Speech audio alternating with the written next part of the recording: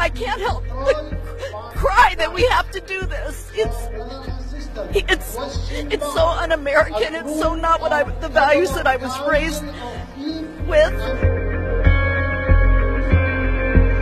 I am a Muslim.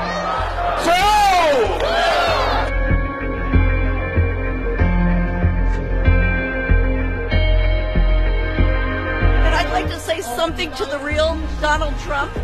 You and your cronies stole this election. The truth will come out. You will be gone. While you are saying, I am Muslim too, I say to you, I am unapologetically Muslim all day, every day. I don't like Donald Trump because he always judges people. Why are you here today? Because Trump is racist.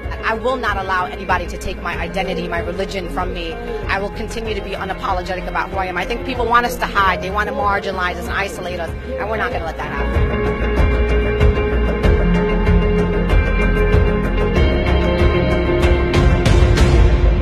Some of the things he's saying about the media and other things he's saying sound like a dictator. But we have to be vigilant in protecting what we believe in.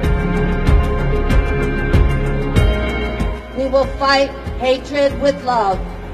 We will fight bigotry with inclusivity. And I today am a Muslim too. Thank you. This is what this is what it took to wake people up. I'm all about it. Welcome Donald Trump.